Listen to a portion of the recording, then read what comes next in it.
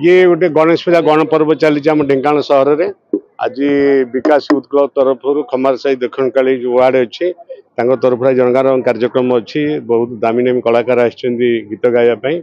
ବିପୁଳ ସମାଗମ ହେଇଛି। ଏହି ଅବସରରେ ମୁଁ ସମସ୍ତ ସହରବାସୀ ୟୁଥ୍ କ୍ଲବର ସଭାପତି ସେକ୍ରେଟାରୀ ସବୁ କର୍ମକର୍ତ୍ତାଙ୍କୁ ଶୁଭେଚ୍ଛା ଧନ୍ୟବାଦ ଦେବି।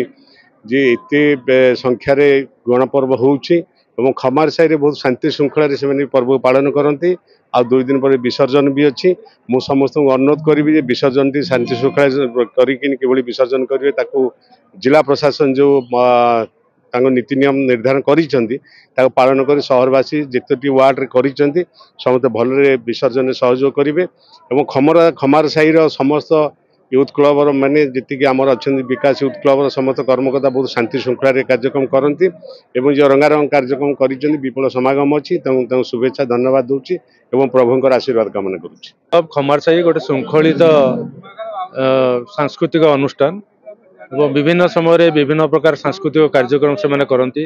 ଖେଳ କାର୍ଯ୍ୟକ୍ରମ ମଧ୍ୟ ହୁଏ ବୃକ୍ଷରୋପଣ ରକ୍ତଦାନ ଏସବୁ କାର୍ଯ୍ୟକ୍ରମ ହୁଏ।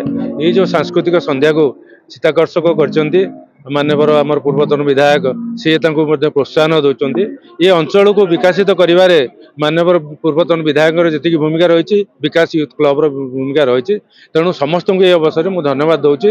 ଆମେ ସମସ୍ତେ ମିଳିମିଶି ଏ ଅଞ୍ଚଳକୁ ବିକାଶ କରିବା ଏହା ହିଁ କାମନା। ଦେଖନ୍ତୁ ବିକାଶ ୟୁଥ୍ କ୍ଲବ ମାନେ ମାନେ ସାଂସ୍କୃତିକ ପ୍ରୋଗ୍ରାମ ହିସାବରେ ଦ୍ୱିତୀୟ ବର୍ଷ। କିନ୍ତୁ ବିକାଶ ୟୁଥ୍ କ୍ଲବ ପଚିଶ ବର୍ଷ ହେଲାଣି ଏଇଠି ଲକ୍ଷ୍ମୀ ପୂଜା ଏଇ ଯୋଉ ଆମର ଗଣେଶ ପୂଜା କରୁଛି। ଦୁଇ ବର୍ଷ ହେଲାଣି ବର୍ତ୍ତମାନ ଆମର ମାନେ ଯେ କ୍ଲବର ଉତ୍ସାହ ଏଇ ଟାଇପ୍ର ବଢିଛି ଯେ ଗଲା ବର୍ଷ ଆମେ ସେଇଭଳିଆ ଗୋଟେ ପ୍ରୋଗ୍ରାମ କରିଥିଲୁ ଏ ବର୍ଷ ପ୍ରୋଗ୍ରାମ ତାଠୁ ମାନେ ସବୁ ଆସ୍ପେକ୍ଟରେ ମାନେ ଷ୍ଟେଜ୍ ହଉ ସବୁ ମାନେ ଏଲ୍ଇଡି ହଉ ସବୁ ପ୍ରୋଗ୍ରାମରେ ସବୁ ଆସ୍ପେକ୍ଟରେ ଆମେ ବହୁତ ଅଧିକା କରିଛୁ। ଆମେ ଆଶା ରଖୁଛୁ ଆମେ ମଧ୍ୟ ଏଇଭଳି ଏ ବର୍ଷ ଆନେ- ମାନେ ଆସନ୍ତା ବର୍ଷ ଆମେ ବଲିଉଡ ସିଙ୍ଗରକୁ ଡାକିବା ପାଇଁ ମଧ୍ୟ ମାନେ ଯୋଜନା କରିଛୁ। ତେଣୁ ବିକାଶ ୟୁଥ୍ କ୍ଲବ ଆଗାମୀ ଦିନରେ ଢେଙ୍କାନାଳରେ ଗୋଟେ ଅଗ୍ରଣୀ କ୍ଲବ ହେଇକି ବାହାରିବ ଏଇଟା ସମସ୍ତେ ଆମେ ସଂକଳ୍ପ ନେଇଛୁ। ଖାଲି ନୁହେଁ ଯେ ସାଂସ୍କୃତିକ ପ୍ରୋଗ୍ରାମ ମାନେ ସାମାଜିକ ସମାଜ ସେବାଠୁ ଆରମ୍ଭ କରି ବ୍ଲଡ ଡୋନେସନ କ୍ୟାମ୍ପଠୁ ଆରମ୍ଭ କରି ସବୁ କ୍ଷେତ୍ରରେ ବିକାଶ ୟୁଥ୍ କ୍ଲବ ଆଗାମୀ ଭବିଷ୍ୟତରେ ଆପଣ ଦେଖିବେ ଯେ ଢେଙ୍କାନାଳ ଗୋଟେ ଅଗ୍ରଣୀ ଅନୁଷ୍ଠାନ ହେଇକି ବାହାରିବ। ମୋ ନାଁ ପ୍ରଭାତ କୁମାର ସାହୁ। ମୁଁ ବିକାଶ ଜ୍ୟୋତି କ୍ଲବର ସଭାପତି ଅଛି ସଭାପତି ଅଛି। ଆଉ ଚଳିତ ବର୍ଷ ଆମର ବିକାଶ ଜ୍ୟୋତି କ୍ଲବ ଛବିଶ ବର୍ଷ ପାଳନ କରୁଛି। ଏଇ ବର୍ଷ ସାତ ଦିନ ଯେଉଁ ଆମର ପୂଜା ହେଉଛି ସେ ସାତ ଦିନ ସାତ ତାରିଖରୁ ଆରମ୍ଭ ହେଇଛି। ତା ଭିତରେ ଆମେ ଯେଉଁଟାକି ଆମର କଳାକୃତି ସଂସ୍କୃତି ବୁଡ଼ି ଯାଉଛି ତାକୁ ଆମେ ବଜାୟ ରଖିବା ପାଇଁ ପାଲା କୀର୍ତ୍ତନ ବାଦି କୀର୍ତ୍ତନ ଆ, ତାପରେ ଆମର ଦାସକାଠିଆ ୟାକୁ ଆସି ପ୍ରୋତ୍ସାହନ ଦେଇଛୁ ଆଉ ସେଠି କରିସାରିଛୁ। ଆଜି ଆମର ଶେଷ ଦିନ ହେବ ଯେଉଁଟାକି ରଙ୍ଗାରଙ୍ଗ କାର୍ଯ୍ୟକ୍ରମ କଟକର ରୟାଲ ଅର୍କେଷ୍ଟ୍ରା ଆଉ ଓଡ଼ିଶାର ଉଁ, ସୁନାମଧ୍ୟ କଣ୍ଠଶିଳ୍ପୀ ଅଭିଜିତ ମଜୁମଦାରଙ୍କୁ ନେଇକି ଆମେ ଆଜି ଶୋ କରୁଛୁ।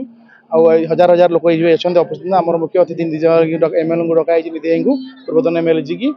ଆଉ ଏଇ ବର୍ଷ ଆମେ- ଆମେ ଚାହୁଁଛୁ ଆମ ଦେ- ଆମେ ଗୋଟେ ମେସେଜ ଦେବାକୁ ଚାହୁଁଛୁ କଳା ବୁଡ଼ି ଯାଉଥିବା କଳା ସଂସ୍କୃତିକୁ ବଜାୟ ରଖିବା ଏବଂ ସ୍ୱଚ୍ଛ ଅ, ସ୍ୱଚ୍ଛ ରଖିବା ଆମ ଜିଲ୍ଲାକୁ ସେଇଟା ହିଁ ମୋର ମୁଖ୍ୟ ଉଦ୍ଦେଶ୍ୟ।